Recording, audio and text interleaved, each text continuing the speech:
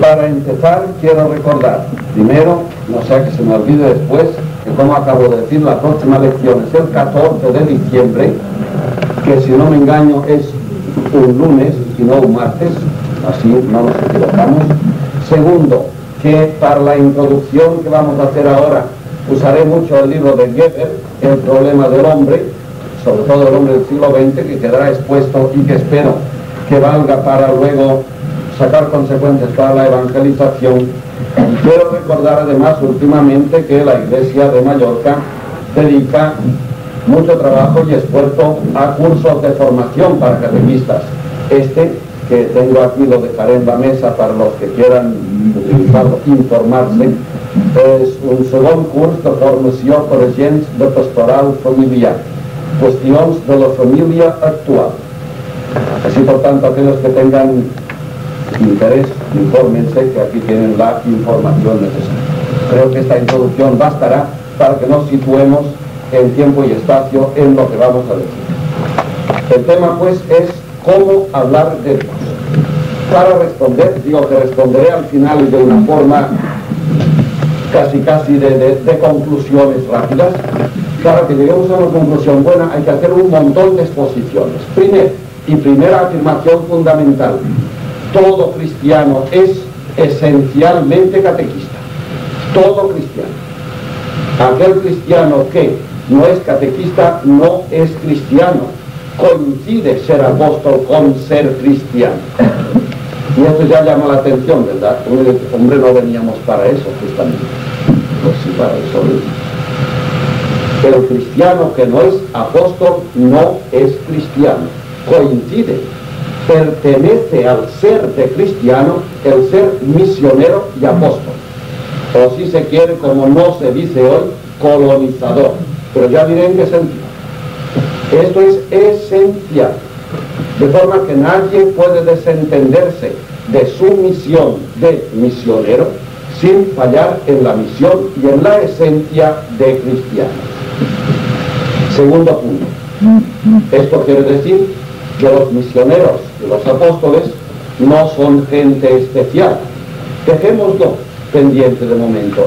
Pero ciertamente, repito, los apóstoles y los misioneros son cristianos y cristianos convencidos. Del cristianismo nace el misionero. Si esto es así, quizá tendremos que decir que es entonces misionar o que es catequizar. Para aquellos que entiendan que catequizar significa impartir doctrina, que empiecen a corregir otra vez. Porque justamente uno de los errores de hoy y una de las cosas que tendremos que explicar rápidamente esta tarde, y creo que fundamentalmente, es que nos engañamos mucho. Hemos de ser catequistas, pero ya nos preguntamos enseguida, ¿y cómo se es catequista? Y todo el mundo está viendo ya el maestro con un corro de niños que aprende. Bueno, esta es la última forma de ser catequista. La última. Hay una forma que es la esencial y es ser cristiano siendo de otra forma, y más fácil todavía, aquel cristiano que para ser misionero necesita predicar es un mal cristiano. Por tanto, el cristiano que es honrado de verdad como cristiano no necesita predicar para ser misionero, le basta con serlo. Por esto he puesto aquí al principio que ser misionero es algo esencial en el cristiano, pero que además tiene una explicitación se hace hacia el exterior de una forma muy concreta y es siéndolo. Pongamos pues en la pizarra la primera parte. El cristiano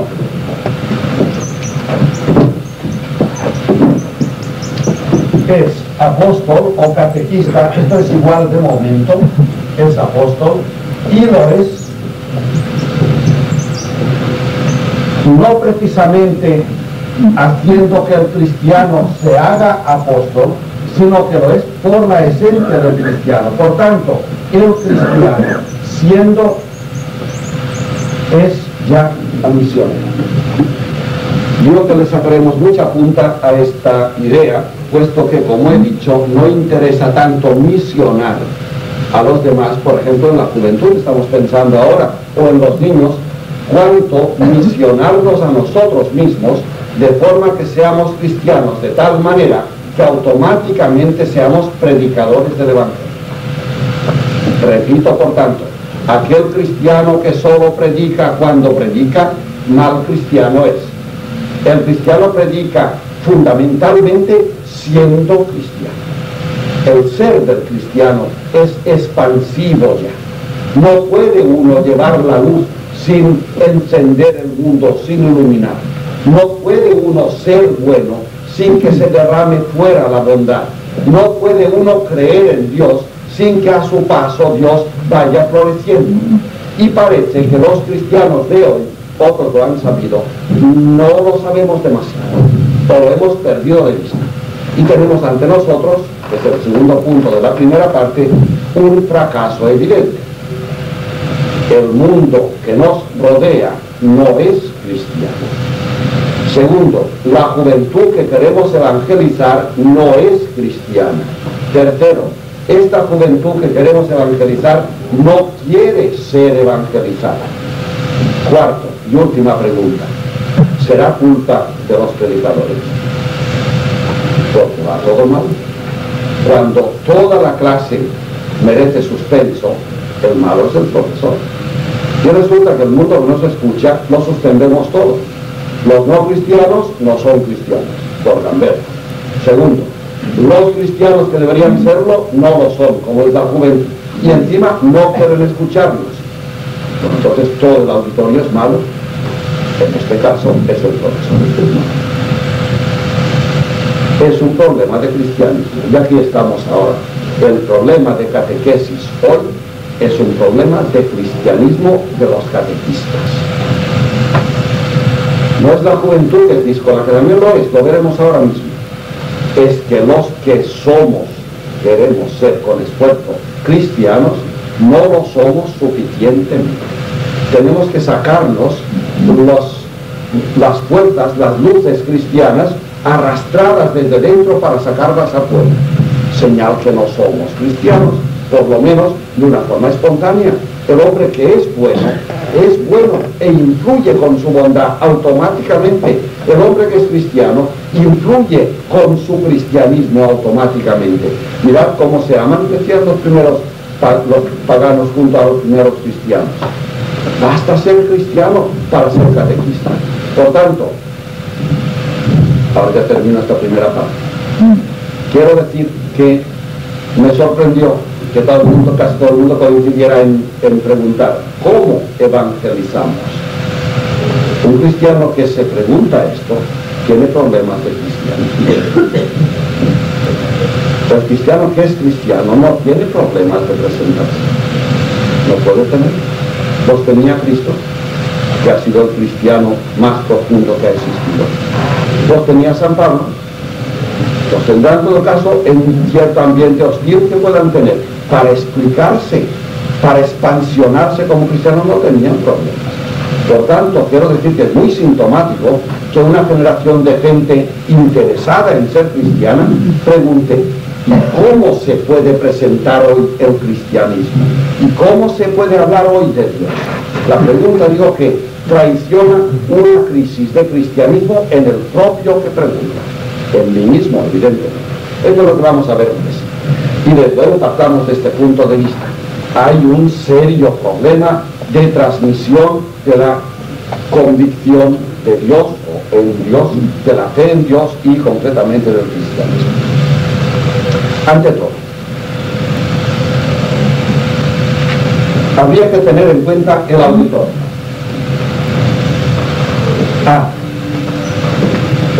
El auditorio y otra vez ahora suplico, primero que nos pongamos cada uno de oyentes, cada uno. Y no de lo que voy a decir, de lo que nos hemos de decir. El primer evangelizado o el primer colonizado debo ser yo. Esto es lo primero. Que nadie se sepa tan cristiano que puede hablar de cualquier forma del cristianismo o crea que ya automáticamente es cristiano de forma misional. Segundo, este auditorio no necesariamente es la juventud. Si ustedes tienen en vista a un chico problemático, posiblemente no resolveremos el problema. Lo que interesa es que sepamos crear un mundo en el cual el cristianismo automáticamente se pueda presentar. El auditorio pues no es tampoco el chico problemático, sino es cualquier situación familiar. El marido, la mujer, la familia, la calle, eh, la oficina o la iglesia, o la iglesia, en los cuales podamos y debamos influir y nos preguntamos cómo debemos comportarnos. El auditorio es problemático. ¿Por qué? Porque este auditorio, esto es fundamental, pues ya lo saben ustedes de otras clases, este auditorio viene de lejos, de muy lejos, de tres siglos, de tres siglos, desde el 17, de tres siglos de experiencia y viene muy cansado de muchos vapuleos. La gente hoy está desengañada o como se dice en castellano, ultramoderno, está desfondada. La gente no tiene fondo, le metes dentro verdades y realidades y las traga y no repite y las saca para abajo como un saco sin fondo. Esto en política, en economía, en medicina, en religión. Venimos desengañados y estamos pensando que no hay solución o que por lo menos la solución no la tiene prácticamente nadie sobre todo los desengañados son los más jóvenes que nosotros, digamos la juventud. Ciertamente están desengañados. Esto no se puede olvidar, puesto que muchos de los que queremos catequizar o enseñar cristianismo, hemos venido de un mundo donde ya había el no, eh, el, el desengaño, pero donde no lo había tanto. Nuestros padres o nuestros catequistas nos cogieron todavía digamos, inclinados hacia el cristianismo y aceptábamos nosotros lo que nos decían y más o menos lo hemos asimilado. Esto hoy no sucede y posiblemente no sucede para bien. Así que hay que eliminar, hay que eliminar el pesimismo. Claro que hay casos particulares, dejémoslo. Estoy hablando en general. Sucede para bien que el auditorio de hoy está desengañado y llega a escuchar, si llega, el cristianismo desengañado, como una doctrina más, o quizá como un fascismo más, o quizá como un socialismo más, o como un comunismo más, o como una economía más, o como una teología de la liberación. Digamos, por tanto, en pequeñas facetas que no son precisamente cristianas muchas veces. La, gente que nos escucha está desengañada. Y digo que seamos optimistas posiblemente para bien. He puesto, por tanto, el no. El auditorio viene de un no o de muchos noes y viene desengañado. Este auditorio es el que, evidentemente, debe escuchar, el que va a escucharnos si le queremos predicar o hablar. En segundo lugar, este auditorio, además del no, tiene un futuro a construir. también lo teníamos nosotros. No es lo mismo, no es lo mismo. Toda la educación de estos últimos siglos consistía en coger al niño y adaptarlo a una sociedad que funcionara. Era una adaptación, la educación era de adaptación. Si no, recuerde cada uno su educación.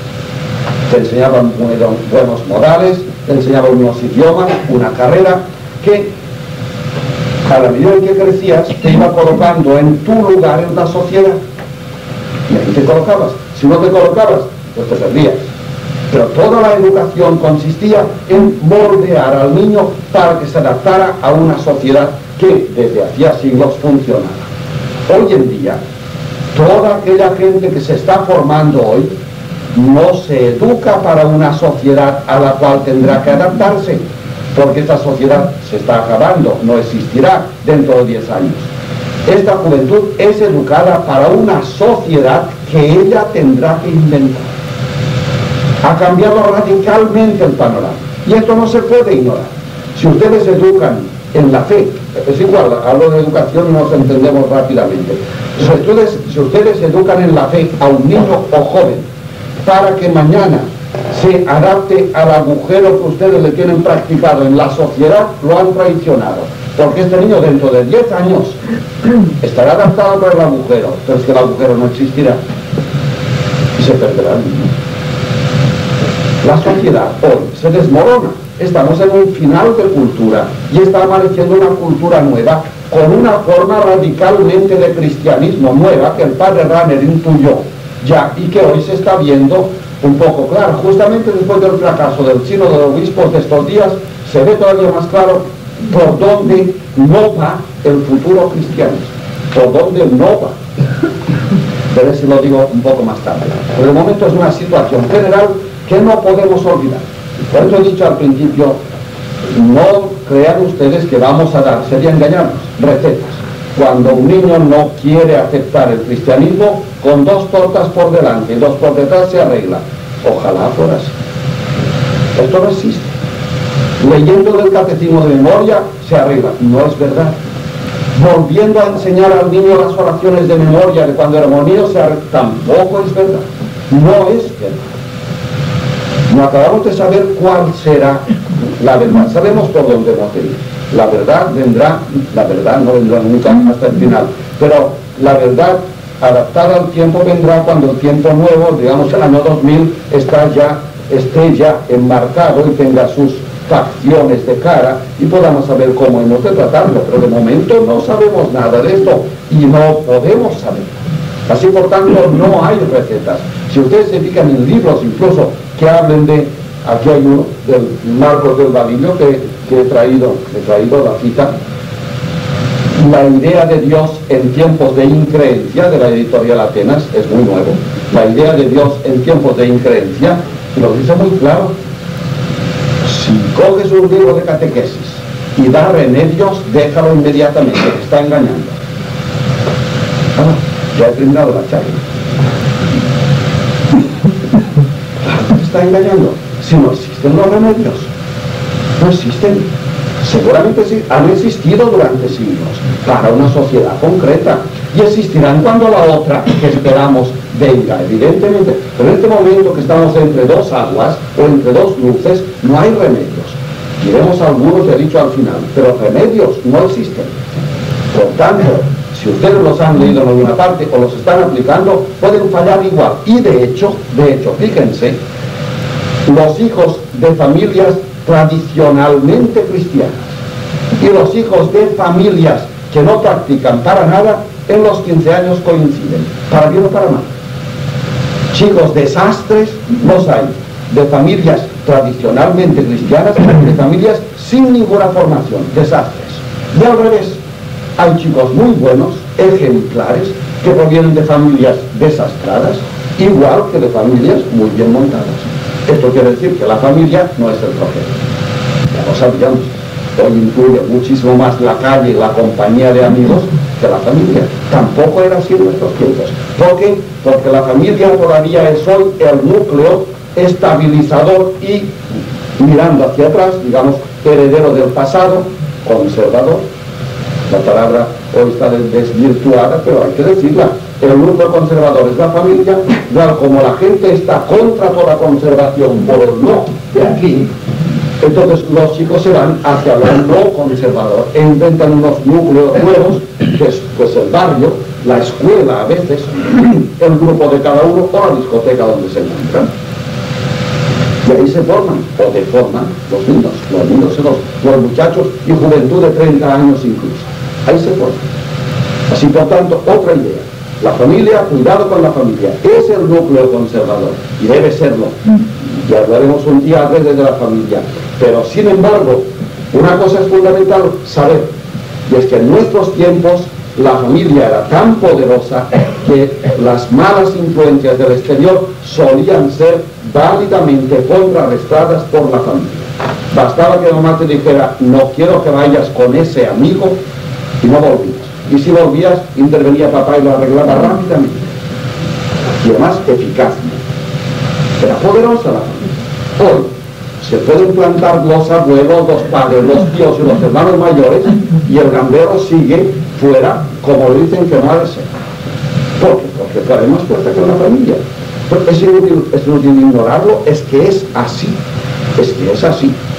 Y si alguno de ustedes posee una familia todavía poderosa, que dé gracias a Dios, pero que se prepare que mañana ya no lo será. Esto es un fósil desaparece. Estábamos diciendo que además de ser, por tanto, un, un, no que viene muy poderoso desde atrás y que se opone a todo, la juventud o el evangelizador, recuerdo que dentro de cada uno de nosotros hay un joven que evangelizar siempre, ¿eh? También está ahí. Y por eso nos rebelamos a veces tontamente contra cosas que no entendemos o no vemos. El primer catequizado soy yo. Eso es fundamental que lo entendamos. Y segundo, he dicho que recordemos bien que podemos con la mejor intención ser nefastos. Para ello quiero recordar un, librito muy pequeño de Iván Illich. Iván Illich es un terrorista de la escuela, no tira bombas de la escuela. Es un, bueno, un, un austríaco brasileño que anda por el mundo diciendo cosas muy gordas, muy gordas. Por ejemplo esta. La sociedad de consumo son nosotros es una sociedad maldita, porque ha inventado el sistema de que siendo mala sea invencible. Que está bien. La sociedad del siglo XX, la consumista, es mala. Basta leer a Marcuse para darse cuenta. Mala. Y encima, sin futuro. tanto mala, condenada a muerte. Pero es invencible. ¿Por qué? Porque esta sociedad es la única en la historia que ha inventado, maliciosa como es, el sistema de eternizarse. ¿Y cuál es el sistema que ha inventado nuestra sociedad para no sucumbir a sus propios males? La escuela. Eso nos toca ya a nosotros. La catequesis es una escuela. No la escuela de cuatro paredes, no, la escuela, la enseñanza. ¿Cómo es esto? Sí, sí. La escuela está montada de tal manera por la sociedad que la sociedad fabrica en la escuela, los niños, fabrica en la escuela unos hombres del mañana que no podrán prescindir de la sociedad. la escuela es el lugar donde la sociedad se ha refugiado en todas sus fuerzas para fabricar unos hombres y darles unos apetitos, unas ganas de consumición. Hoy en día otra vez el, estallido del consumismo, otra vez. La juventud es más consumista que nosotros. curioso, y están en contra de la sociedad, pero están envenenados ya por la sociedad. Han encontrado el reducto del agujero donde el hombre crece. Han ido allí, la sociedad, y lo, forma de tal manera que cuando crezca el hombre no tenga más remedio que adaptarse a esta sociedad, o si no sucumbir. Con lo cual, esta sociedad que está condenada a muerte se eternizará porque los que la iban a tirar abajo, que son los jóvenes, nunca la tirarán porque los hemos educado de tal manera que nos necesitan y por tanto nos seguirán adorando y besando los pies para siempre. De hecho, muchos estamos pensando que más quería, que quisiéramos, ¿no? Que fabricar la juventud a mi modo. Gracias a Dios, esto no es posible. ¿cómo es para mí? La escuela es imposible de gobernar, gracias a Dios, porque es nefasta es que la juventud no escucha, gracias a Dios porque la engañamos. Si se lo sin querer, con la mejor intención, lo iremos viendo esta tarde. Perdónenme que sea duro, pero estoy totalmente convencido y además no hablamos de, de misionar. Pues venga, cojamos el mundo como es, no como nos lo figuramos. Y empecemos a sembrar semillas del Evangelio. Si el mundo fuera como me enseñaron a mí, yo sé muy bien cómo iban los surcos, lo haría perfectamente. No había niños que se me resistieran. Pero es que no es. Ah, pero no, no, no es. aquí la realidad, está en la pizarra. El niño de hoy es, el terminal de una sociedad que se llama occidental y que lleva mil y pico de años existiendo, pero la de consumo lleva 300 años, una sociedad que se llama occidental, que es el mundo entero. China es occidental y Rusia también y el Japón también. Pero la bola entera es occidental es una sociedad de consumo, todo ella, el comunismo también es de consumo. Y esto, los niños, nosotros ya no tanto, pero la, juventud de 30 años para abajo son el terminal de esta sociedad. Más allá de 20 años más, no existirá esta sociedad ya, no existirá. Claro, existirá otra, no, no será hundir el mundo. San Agustín en el año 430 pensaba igual que ahora. Eh, se hunde, pero no se hunde, no pasa nada, cambiaremos de sistema de sistema. Gracias a Dios. Bien, dentro de 20 años, por tanto, la sociedad que vivimos no existirá. Bueno, pues pregúntate, ¿y los niños que formas, cómo los formas? Para la sociedad que vivimos, pues los estás eliminando. Porque dentro de 10 años no existirá esta sociedad. ¿Y a dónde irán estos niños? ¿Dónde irán? Los has engañado. Y piensan el cristianismo es igual, como veremos ahora. Si les dices formas de ser cristiano periclitadas, voy a explicar esto a continuación.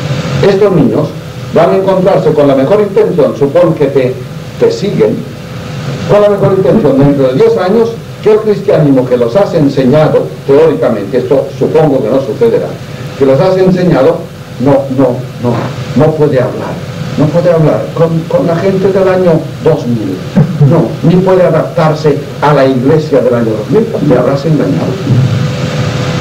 Ustedes han pensado que traen aquí a Santo Tomás de Aquino, ahora, a predicar. No había forma de entendernos. No nos entenderíamos. Quizá los eclesiásticos entenderíamos un poco su sistema de utrum non, eso sí, pero los seglares no podían hacer nada. Ni Santo Tomás les entendía a ustedes. Santo Tomás es un sabio en teología, pero ya no habla el idioma de nosotros.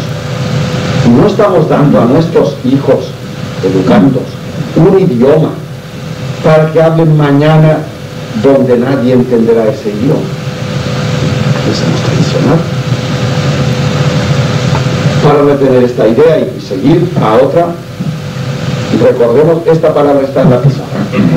Hasta ahora, en una sociedad estable, que lo era durante siglos, hemos tenido suerte, esta cultura ha sido muy larga, la occidental, esta sociedad estable tenía unas normas estables, que durante el día, reduzcan a un día la sociedad, durante el día de hoy ustedes en familia se han comportado, pues normalmente, claro, porque la familia es estable, no ha pasado nada supongan, supongan, sin querer, que en su casa hoy hubiese habido dos muertos.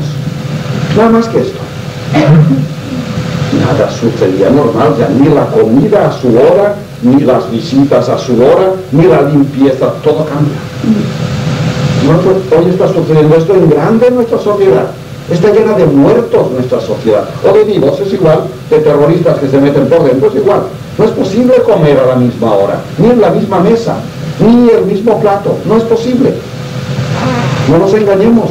Luego, digo que si en una sociedad estable durante siglos la educación pudo ser bastante igual y que esta educación tenía como meta el preparar al niño para ser útil a la sociedad, para adaptarse a la sociedad. Hoy en día no puede educarse hacia el niño porque no se trata de, adaptarlo a una sociedad que no existirá, se está muriendo, y hay que darle tal clase de información y de perspectiva que este niño sea capaz de fabricar la sociedad nueva. Están llamados a mucho más. Nosotros con repetir y adaptarnos triunfábamos. Ellos, si no son creativos, se hundirán en el diluvio solamente subsistirán como Noé. El, el tema del diluvio es de mitología, quiere decir que es válido para toda la raza humana. Se hundirán y los demás, y como Noé triunfarán solamente los que hayan hecho una barca y con los valores salvados de lo que se hunde, sobrenadarán y serán la generación del mañana. Estos. Ahí se trata tener la dificultad y la seriedad de evangelizar con la mejor intención puedes educar un hijo y hacerlo directo para el día de mañana. Uno está pensando, ¿podría suceder entonces que los rebeldes de hoy, los gamberretes, sean los fabricantes de mañana? Claro que puede ser. Se ha pasado ya bastantes veces. Claro que puede ser. Los disconformes, los que acaban con la casa de sus padres, como pasan tres o cuatro días de frío a la intemperie, rápidamente edifican una barraca. Eso se sabe. En cambio, los que siguen viviendo la casa de sus padres no tienen intemperie, pero no tienen casa futura. Porque cuando, como sus padres ocupan la suya, ellos no tienen dónde estar entonces. Bueno, así por tanto, está claro que la instrucción que demos ha de ser de futuro y de futuro que ha de construirse. Hemos de capacitar a los educandos en el cristianismo para que con las ideas que les demos fabriquen un cristianismo, una forma de cristianismo nuevo, para el mundo nuevo. Puesto que eh, así como el catequista se adapta al oyente, también nuestros hijos se tendrán que adaptar al mundo nuevo para evangelizar. Espero que estas dos ideas sean bien entendidas y sobre todo aceptadas para que veamos el problema serio, el malestar del mundo, el malestar de la cultura que decía Freud, es un malestar que responde a realidades. No crea nadie, desde ya no lo cree nadie, no crea nadie que vendrá un golpe de fuerza o un golpe de suerte y que volveremos atrás. Nuestro mundo no se repetirá ya. No, no hace falta ser profetas para eso, basta ser matemáticos nuestro mundo ya no se repetirá. Uno tiembla al pensar, y si, yo que sé, los gobernantes del mundo, o los de la iglesia, a lo mejor el Papa, pudieran coger el timón de la historia y volverlo 50 años atrás, no lo harían. Claro, yo el primero, ya lo creo, yo ya tendría mis hijos ya seguros. Hace 50 años no había este problema si pudiéramos, volveríamos el mundo 50 años atrás. Y viene la pregunta horrible. ¿Le aceptaríamos o nos equivocaríamos? Eso estamos hablando. Eso estamos hablando. Si tú pudieras educar a tus hijos a tu capricho, a tu gusto, honrado, evidentemente, y que te escucharan bien y asimilaran bien, ¿serías feliz? Sin duda. ¿Habrías aceptado? ¿Quién se atreve a contestar que sí? Los caminos de Dios son misteriosos, evidentemente. Y por los caminos tortuosos de la equivocación humana tienen tiempos futuros siempre.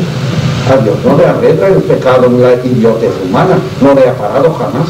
Y esta visión de providencia de Dios hay que tenerla en la catequesis, como tiene también en la segunda parte. Así pues, piensen que cuando hablemos de religión, como vamos a hacerlo ahora mismo, hemos de entender la religión en el sentido cristiano y no en el sentido de las religiones de la tierra, sobre todo de algunas que se están equivocando radicalmente.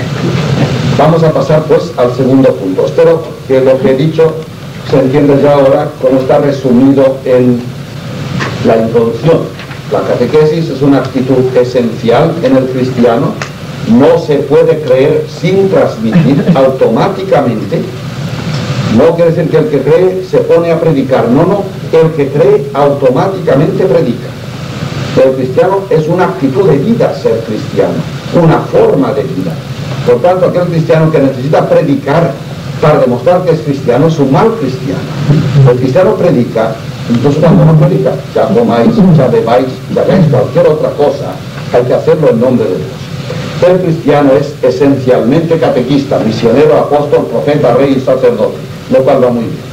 Y esas funciones las ejerce no solo ni principalmente por lo que hace, sino por lo que es. Y después, entre paréntesis, hay una idolatría de la acción que está contaminando la instrucción en la sí. La está contaminando porque uno piensa que predicar Evangelizar es una acción, no es una acción. Es un estar ahí, es un ser. Y por eso, si tú das a entender que la fe se predica, predica hablando, se predica predicando, contaminas todo el aire de la fe. La fe es una vivencia, y una vivencia que se aprende por contacto, por contacto.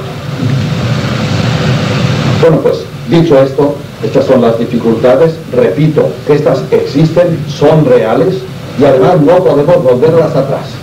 Y segundo, y si las pudiéramos volver atrás, deberíamos pensárnoslo muy bien antes, muy bien antes. Lo digo porque parece que todavía hay cristianos que, claro, están dolidos del dolor del mundo. Uno no sabe qué es lo que pretenden de verdad. Vamos a ver. Tú supongo que ahora tienes en tus manos la posibilidad, cada uno que se conoce, la posibilidad de ser el gobernante único del mundo. El único, no, ya de Rusia o de Norteamérica, no, el único. Eres el rey del planeta con plenos poderes. Supón que siendo el rey del mundo, de todo el mundo, con plenos poderes, puedes acabar ahora mismo con la mala administración, con la mala economía que nos corroe las entrañas. Acabaría, sin duda que sí, y debes hacerlo además. Pero vale una pregunta después. Acabaría con la administración y pondrías limpieza, no 100 años, 100 millones de años de honradez, los pondrías. Muy bien. Claro, una pregunta. Tú, acabando con la mala administración del mundo, tienes buena intención, sin duda, ¿acertarías? ¿Cómo? ¿Acertarías? Hay un señor, lo conozco, un señor que puede acabar ahora mismo con todo ello. Se llama Dios y no acaba. No acaba. ¿Y por qué no acaba Dios con el hambre del mundo ahora mismo? Porque quiere que seamos nosotros los artífices de nuestras obras. Y tú, como rey del mundo, le dispensarías a todo el mundo de trabajar por el bien de la economía mundial. Tú la arreglarías. Muy bien hecho, te aplaudimos, pero posiblemente te equivocarías. Verás que Si pudiéramos volver atrás 50 años de historia y volver a la patriarcal familia de la cual procedemos, sí que lo haríamos, ¿verdad que sí? Pero seamos humildes, ¿aceptaríamos? Posiblemente no. Por tanto, no hay que asustarse tanto. Quizá las cosas van cercanamente por el camino, sin camino todavía, por el cual van encaminadas hacia un futuro que esperamos. Quizás si ni siquiera estamos seguros del bien que podemos hacer, de lo que es bueno y lo que es malo cuando se trata de los hombres, porque nos vamos a molestar tanto criticando ahora la situación del mundo. La segunda parte dice así, ¿cómo hablar pues de Dios? Primero hemos de recordar esta parte negativa, la diferencia de generaciones, pero además hay que hablar de Dios bien. Y repito que hablar de Dios es una forma para entender. No sé cómo hemos de, de emitir divinidad. Si somos amigos de Dios, hijos de Dios, ¿cómo transmitimos de alguna forma la vivencia de Dios? ¿Cómo se Yo creo que cuando vivimos y cuando hablamos, estamos teniendo un concepto de religión que no es cristiano. Acuérdense que el otro día, justamente el otro día, nos fue muy bien, pintábamos que hay un primer momento que se llama la creación, digamos por tanto el lugar de la creación, el mundo pagano. Después está un segundo punto que llamamos la redención o la encarnación, pues a un tercer punto llamamos la consumación o la salvación, de la cual también diremos ahora unas palabras. Y decíamos que normalmente las religiones de la tierra abarcan, esto se llama religión. ¿Qué es religión? Pues lo que toca la redención, y para cristianos también, la redención, la salvación, pero la, la creación, las montañas, los ríos, las estrellas, esto se llama el mundo de lo pagano. El, la religión no tiene que ver, o sea que esta primera esfera no es religiosa, las otras dos. Y dije el otro día que justamente Cristo vino para corregir esta barbaridad. El cristianismo es esto. Esto es el cristianismo. La creación es ya cristiana. Todo se creó para Cristo. Y si Él no hubiese tenido que venir, ni hubiese empezado siquiera la creación. Bueno, pues esto es un redescubrimiento de la teología catequética de hoy. Y los redescubrimientos porque hace 20 siglos que esto se predicó y se enseñó. No hay nada ajeno a la religión. Nada ajeno. Bueno, pues primera corrección que hay que hacer para más breve, porque la otra es más difícil de explicar primera corrección que hay que hacer. No enseñarle al niño ni darle a entender con nuestra actitud que la religión está en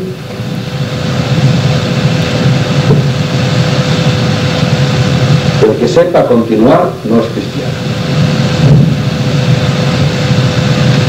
Religión no está en todo es Dios y todo es de Dios. No está en Esto quiere decir que contar las estrellas para un astrónomo es un acto de religión. Si él quiere que lo sea, evidentemente, toma con Dios. Y cocinar lentejas con nada de familia es un acto de religión, evidentemente. Y enseñar en la clase es un acto de religión. Y ejercer en un bufete o en una oficina o una ventanilla es un acto de religión. Eso es fundamental. ¿Sabe usted lo que se deriva de esto? Si ustedes cortan por aquí, como hemos hecho durante miles de años, si ustedes cortan por aquí, si la religión es la, la redención y la salvación, está claro que el hombre se dedicará a la redención, por ejemplo, a ir a misa los domingos y a salvarse, pero es capaz de, pues, lo que a decir, de polucionar el aire que respiramos. Es pecado mortal ensuciar el aire como lo tenemos. Pecado mortal. No sabes. La juventud empieza a saber. Ahora los verdes ya gritan por todo el mundo. Demasiado verdes están. Pero, pero empiezan a gritar. Es pecado mortal. Y como se puede ir a misa los domingos y ensuciar el aire que Dios creó. Claro. Y por ahí ya, no se entienden ya. Pero si no se trata de predicar, es que se trata de hacer. Es que tú vas con tu niño por la calle y tiras, como está de moda, la cajetilla de, de cigarrillos por la ventanilla del coche. Y vas a misa tú. Ya has ensuciado la ciudad, que ya lo está bastante. Ante el niño, pero desde el niño no, no se le puede hablar de Dios. Claro, ¿no? Si tú lo has matado ya. Si te una, una cajetilla vacía por la ventanilla, es hablar mal de Dios ya. Ya. Evidentemente, la creación es de Dios, igual que la redención. Y, la creación además es el vehículo que nos lleva hasta la salvación. Digo, por tanto, que cristiano que predicara como hemos hecho, esto no hay que corregir. Vamos poner un ejemplo más fácil. Cuando nos damos cuenta, pienso en los padres de familia, cuando nos damos cuenta de que nuestros hijos tienen problemas serios, ¿saben cuándo es? Cuando dejan de ir a misa. Antes no se entera nadie de que hay problemas. A lo mejor el niño se mea en una esquina hace tres días, nadie se entera.